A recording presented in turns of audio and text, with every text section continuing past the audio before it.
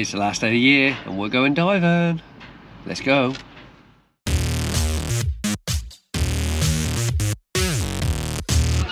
Well, here we have the last one coming to join the, the A and the B team. The A Team Extreme. The A team extreme, yeah? That's it.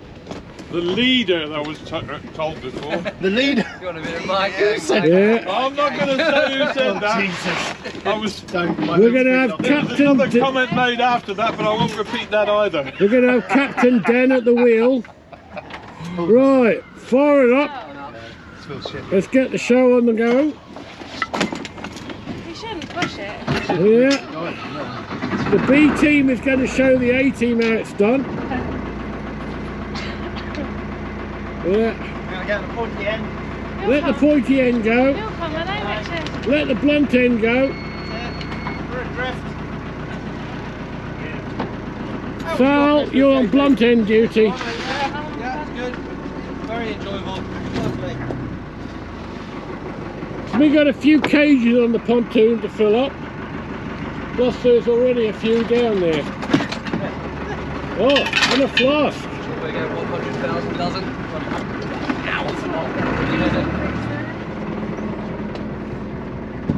Full ahead all together, okay? There you are, there's JP assembling his gear. Yeah. Awful lot of shells on the boat. A shout again, but There's young Nipper there. Daisy Marwick.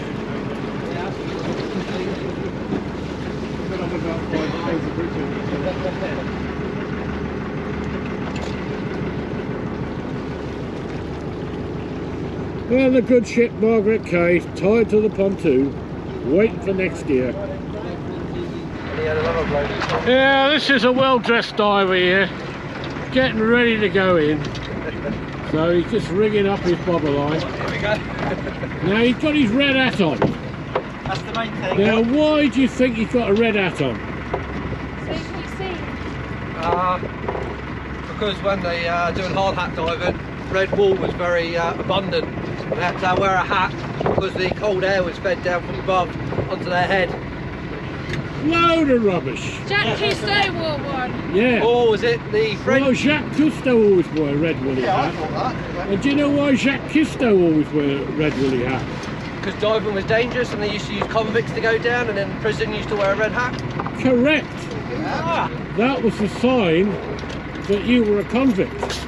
But you were allowed out to train as a diver and be a diver because funny enough it was a bit of a dodgy uh, in the 1800s and 1900s it was a bit of a dodgy thing to be a diver yeah. so you were expendable but you also got out of prison You're the guinea pig. Bit like being a witch then. Burnt at the Burn at the stake. stake. Drown, drown if you're not a witch, and get burnt at the stake if you can swim. You're a font of knowledge, Sally. You know, it, it's these things, you know, that we sort of, you know. There's Lee there with his knee pads for his praying on the bottom that he's going to find a Dover sole Right. that Jeffrey hasn't had. So, Blackfish on the cars today. Would be nice. Miracles don't happen that often, but he'll be looking. Always knocking. Oh, Chuck up my weights, Matt. I've just had a thought as well. I'll have to rig up another bobber line. Right, go on, let's see some action. The viewers are desperate to see JP catch more than a dozen, I and the rest of us. I reckon I'll do a dozen today. Make it, doesn't Yeah, one dozen will be good enough. Straight into dive number one. Here you can see on my dive computer I dropped down to 14.1 metres. It's not my maximum depth on the dive, but what it does show is the bottom contours which I followed.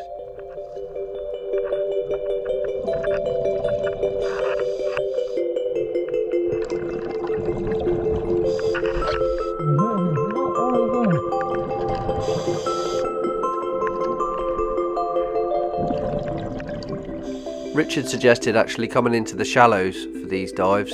So, because he dives every day, he knows the locations to go and try. He knows where he's fished in previous days or previous weeks. So, he knew it was going to be dark and he knew the viz weren't going to be that good. Also, he's got an excellent knowledge of the tides, so he told us to come into this location.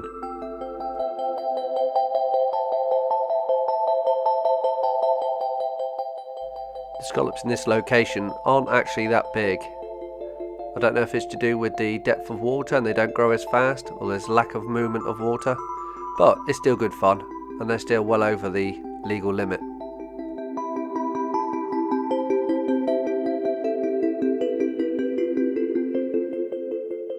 Also, as it's shallow, you probably get a lot more divers coming over this bit of sand.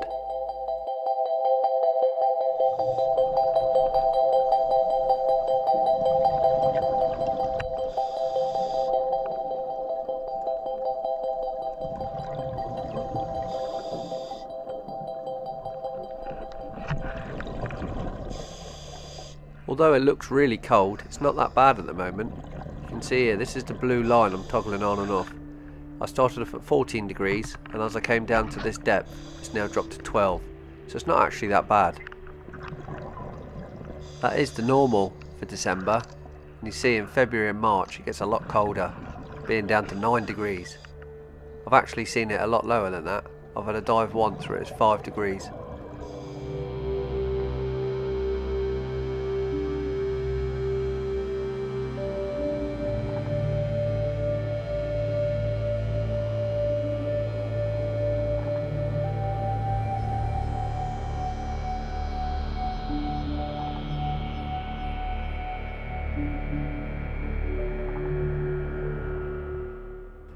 As you come up to little reefs like this, you've got two options really. Go over or try and go around. But when the tide's screaming, sometimes it's just easier to go over the top. Here you can see on my profile, I've just climbed over a peak. Now I'm going to drop back down the other side, back onto the sand. As we come past these reefs, we look in every little hole. Here you can see a shanker, it's hiding away.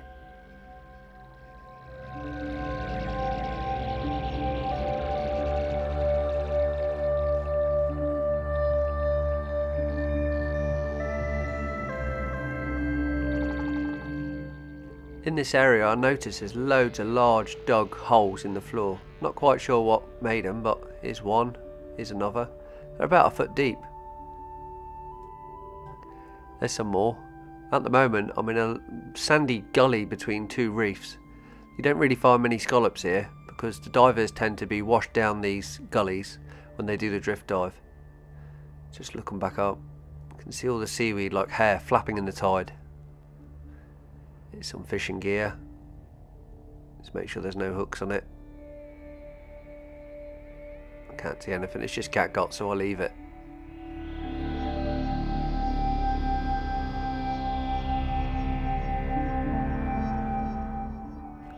Check out this phantom ras. He looks black, but he's not. It's just I haven't got no torches on. So he appears black, he's probably just dark brown. Check out the tide. Now I've cleared the reef, which is a favourite excuse for having low numbers. You, you hear divers say, oh, well I was on the reef. I love using that excuse. The actual real reason is just I want to film everything.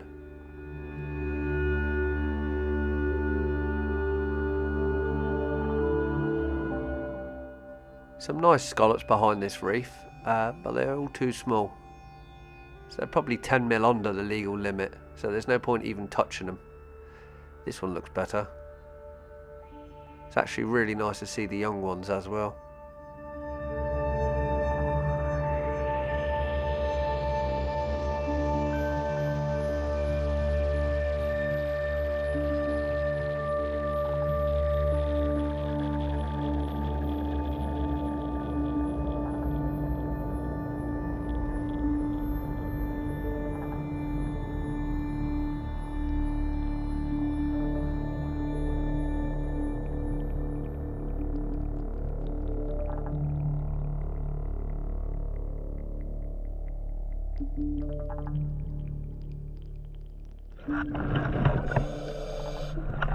I love popping up over the top of reefs. You always catch fish out, like this one. I think it was a red mullet, but I couldn't really tell.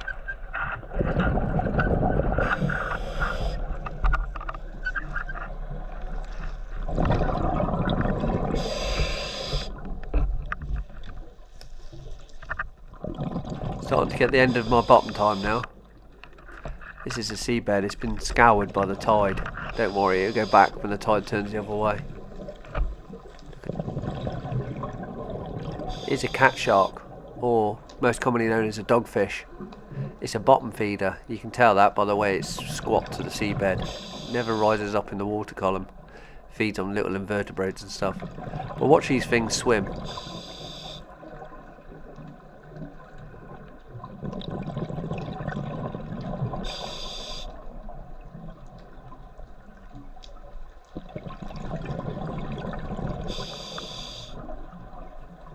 These are very common around Guernsey, and the fishermen hate it because if they've got a ground bait down, these things will find it and snap it up before the decent fish, like the turbots or the brill.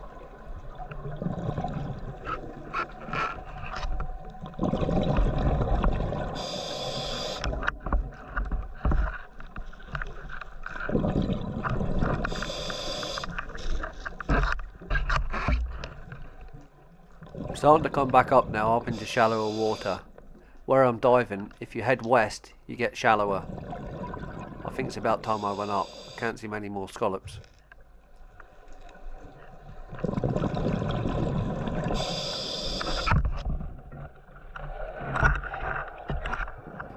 The way we dive on Sylvia K is we tend to split our tanks in half, so from one 15 litre tank you get two dives. About 120 bars half a tank, so I've got more than half a tank, and I've been down for 24 minutes. Time I went up. There's two different ways really to bring your gear up. Some people leave the bag on the bottom and just tie the neck and follow a rope to the surface, or you can do it as I do it and reel it up with a reel.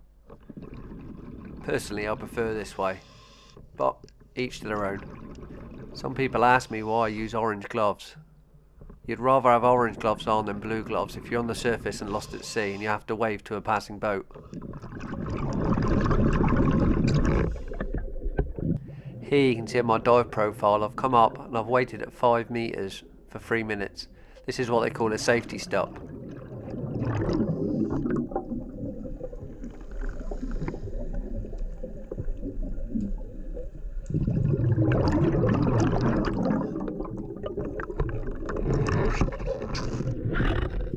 It's always a good time to admire you, what you've caught, or the lack of what you've caught. I think this is pretty, pretty average for me. It's going to be 30, 40 in here.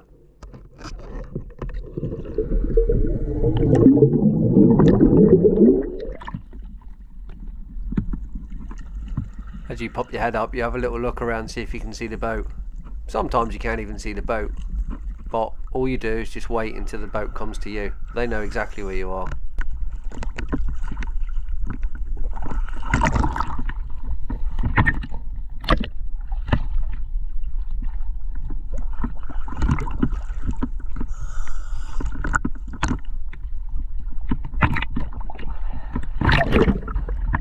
There's the boat. Coming to get me.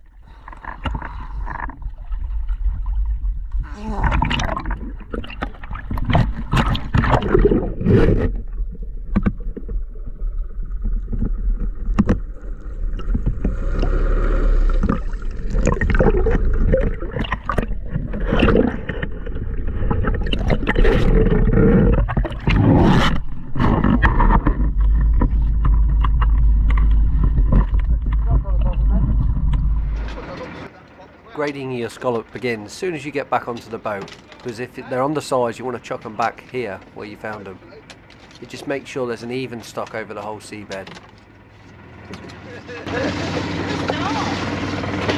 Some thick old rope on that, eh? 16 mil.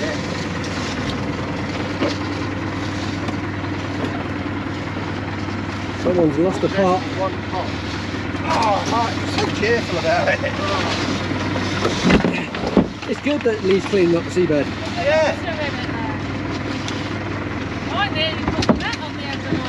What's all that plastic polypropylene rope down there? I thought about it. So you got to look at it. That's plastic, that.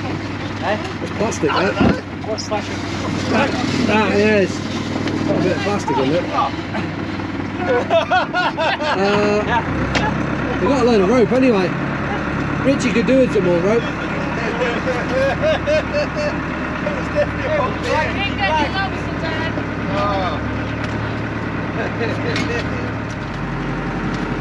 Get them sorted, get the smalls back in the water. Sorry, Matt, dragging my buff right past you. They're not exactly big ones.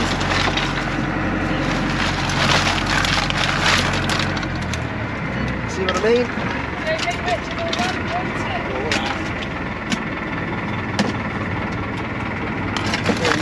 There's many decent ones in there. Uh, okay.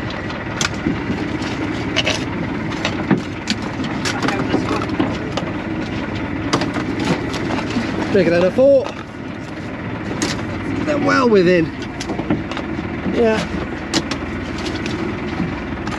Ah, easy in. Easy in.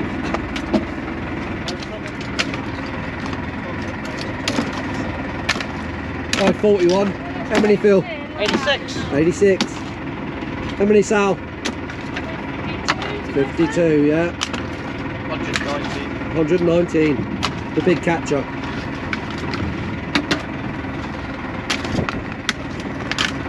Lee might be in second place.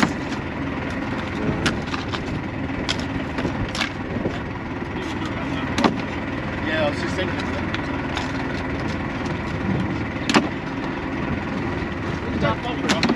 He's up. Go for it. It.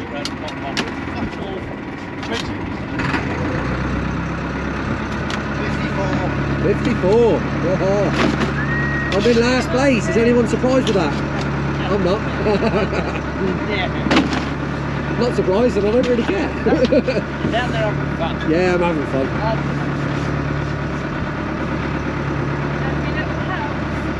Yeah, exactly. You've got to pay our way. Pay your way. You can't use the boat for free. Got to catch some scallops.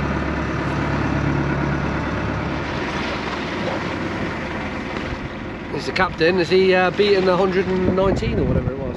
Yeah. That's a nice set of buffs he's got on there. That is a nice set of buffs. Yeah, he's these new ones apparently. He likes them, doesn't he?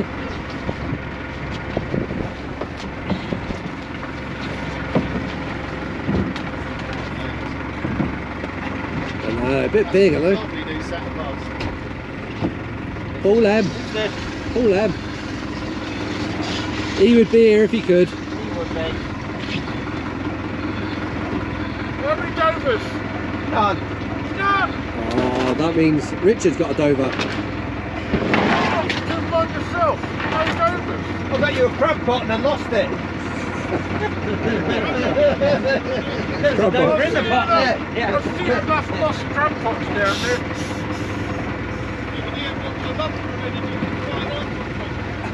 I don't like doing that. I don't Well, like. come up with Saxton for you, sir. I'm going to go back in again. Yeah, it's going to go back down. Is that 10 dozen? I reckon it is 10 dozen.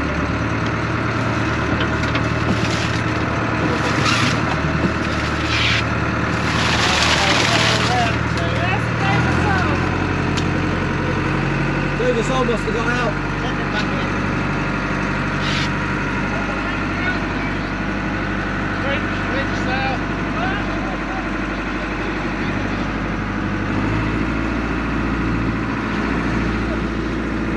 Richard's going straight back in.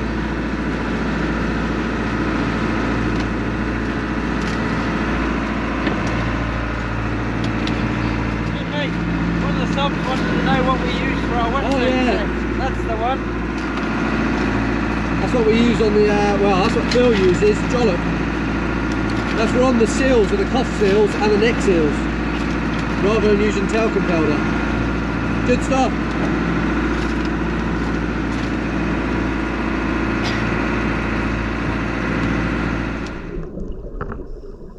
Well, if Richard's going back in, so am I. Pretty close to Phil, yeah? I better check my rope. Yeah, it's right. Mine's over the side of him, so I can swim off and I won't get tangled.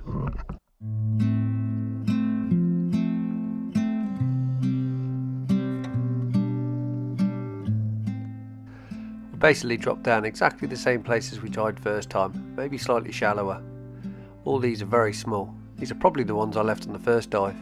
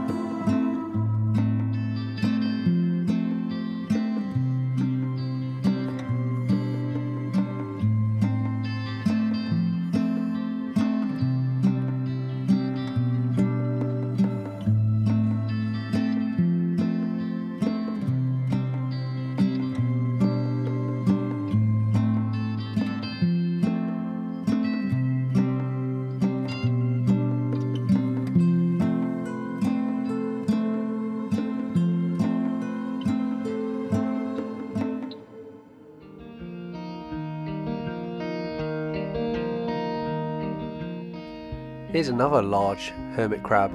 Looks like he's having a fight with a smaller crab.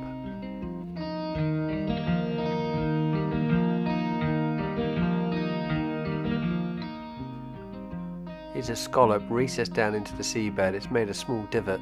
It's got its feelers out, its tentacles, just grabbing food as it goes by.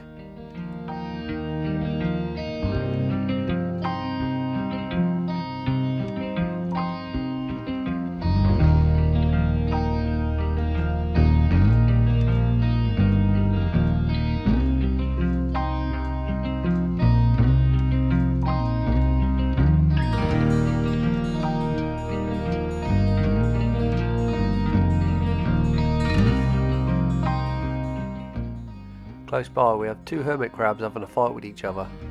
It's pretty normal.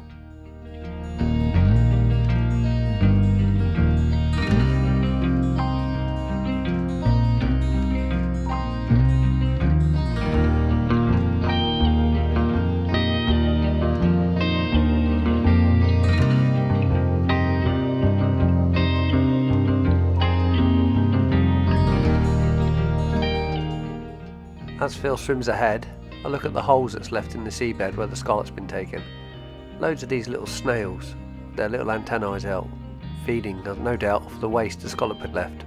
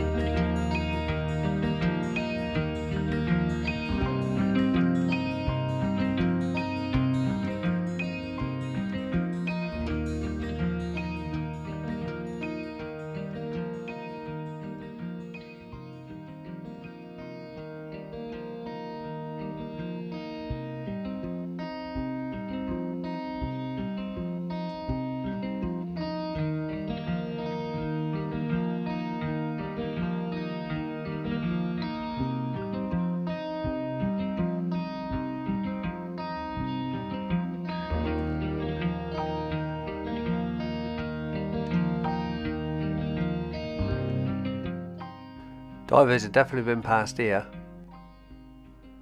Some hermit crabs trying to clean up the area.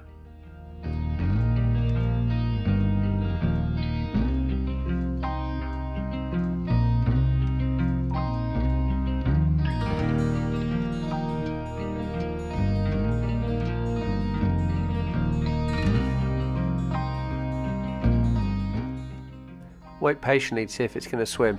I don't think it is though. Looks like it's happy feeding.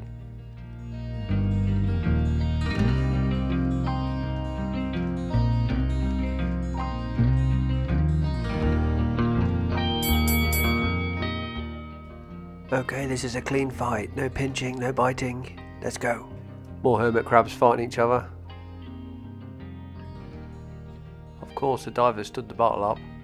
That won't stand up for long. When the tide starts pushing hard, probably knock it over.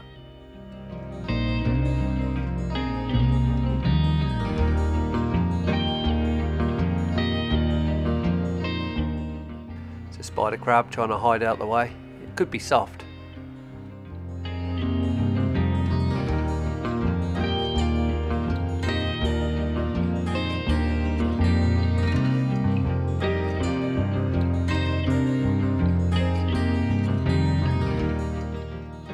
Take a look at that soulless face.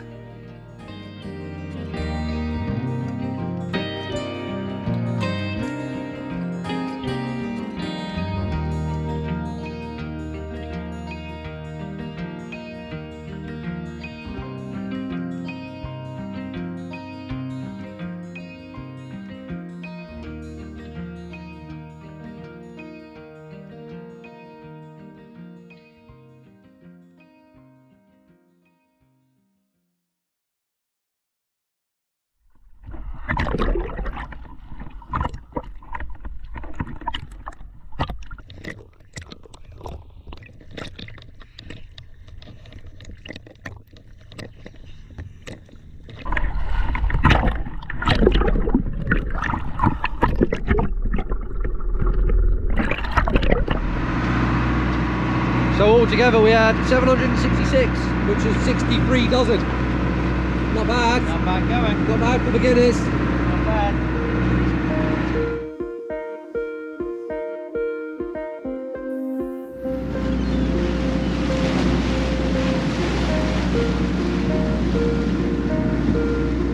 Matt Eager from Dive Guernsey.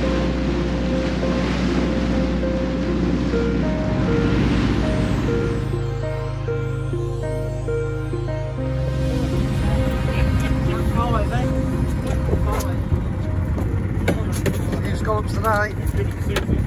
Where they Dan? Stay in bed then.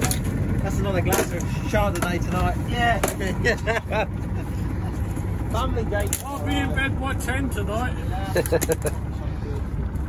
Uh, we're, we're out tonight.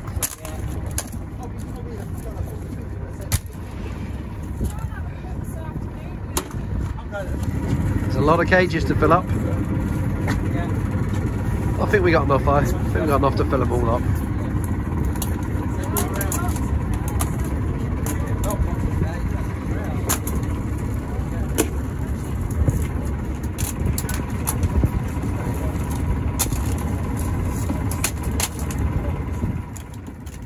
Between Den and Richard, they sort out the scallops into various sizes, keeping the larger ones in a separate bucket. You don't want to put too many in these cages as they can uh, suffocate each other, so you want a good flow of water around each one. I once asked Richard how long he can keep them in these cages. He said probably indefinitely, but six months. You don't want to be doing it any longer than that. And the condition of them wouldn't improve if you keep them in the cages. It out again.